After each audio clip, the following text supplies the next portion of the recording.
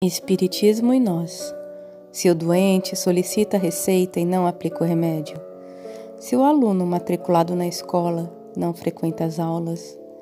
Se o viajante necessita chegar à estação com passagem comprada e não toma o comboio.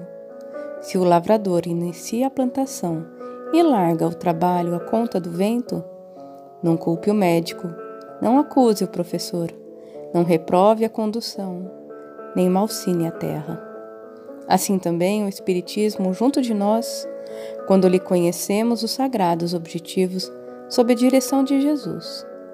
Se nos reconhecemos necessitados de melhoria, se aspiramos à luz, se temos sede de paz, se queremos felicidade e não dispomos a usá-la em nós, por instrumento da própria renovação, não nos queixemos senão de nós mesmos. Albino Teixeira